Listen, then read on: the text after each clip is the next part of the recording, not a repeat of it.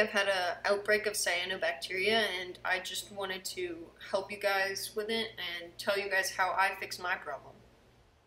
This is cyanobacteria. It's also known as cyanophyta and it's a phylum of bacteria that obtains its energy through photosynthesis and it's the only photosynthetic prokaryotes that are able to produce oxygen. The name of cyanobacteria comes from its color of cyan. Cyan is a blue or greenish color. Yet in reef tanks, we usually call cyanobacteria red slime algae because of its different appearance in saltwater reefs. It's called algae because it's very similar to other forms of algae, even though it is a bacteria.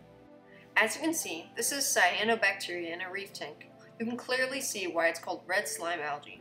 Cyanobacteria usually forms in badly circulated areas of a reef tank where it can spread and get out of hand. It can also spread in a reef tank because of high nitrates or phosphates, usually from the death of an animal or overfeeding, or from low output lights, usually because they are old. Make sure you maintain a regular bulb changing schedule unless you have good LEDs. Three great ways to avoid red slime algae are maintaining weekly consistent water changes, feeding at a regular rate, and maintaining your equipment, especially your lights. If you ever do find yourself with some red slime algae, it's not the end of the world. First, test your nitrates and phosphates. I recommend the Salifert test kits. I've been using them for all my testings and they've been working very well. Your nitrates should be tested around 5 to 10 ppm, and your phosphate, phosphate should be around 0.05 or 0.01 ppm. If your phosphates and nitrates are higher, and simply just do an extra water change and make sure water you're changing in has low nitrate and phosphate. If that wasn't your problem, make sure that the area your red slime algae is spreading has enough flow.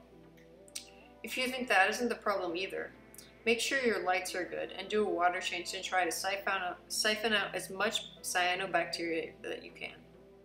If you want to wipe it out completely, try ChemiClean. ChemiClean sucks all the air out of your tank and kills bacteria. But please make sure you put an air stone in your tank so your fish do not suffocate. In my time dealing with cyanobacteria, I did a water change and siphoned out almost all of the bacteria. I also checked the levels, but they were fine. Finally, I replaced my T5 bulbs, and that did the trick. Now I can wait peacefully until another day where a pest abruptly interrupts me. Have a good day. That was Tank Teen. Goodbye.